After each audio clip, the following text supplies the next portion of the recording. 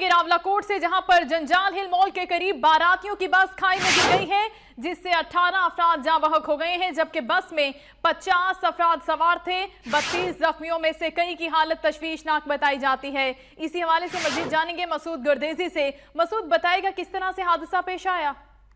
जी, ये मुसाफिर से, बारातियों से बड़ी बस बादल प्लंदरी से केरी चरून हजीरा जा रही थी कि गुड़ाला जंजाल हिल, वहाँ एक शौकत होटल है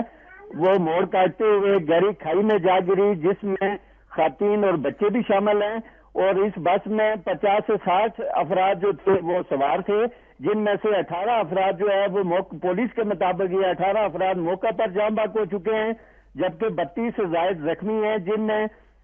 बच्चे और खातन भी शामिल हैं और शदीद जख्मी को डीएचक्यू अस्पताल बुलंदरी पहुँचा दिया गया है। पुलिस राय के मुताबिक हालातों का मजीद, चूँकि खदशा भी है बाद अफराज जो है वो शदीद जख्मी थे, और ये मुसाफिर बस एक मरतबा फिर बताता चलूँ